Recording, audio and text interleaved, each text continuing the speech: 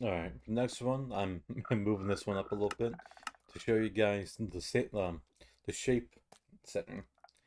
You want to change the shape, you don't want to be a normal circle, go edit, shape. Default is what will show up in the quest and the actual chapter settings.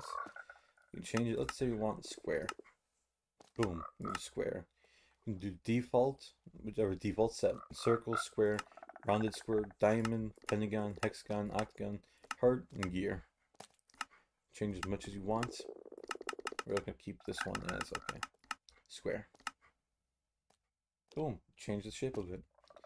Again, the default will be set in here, I believe. Default will always be circle unless you change it something else.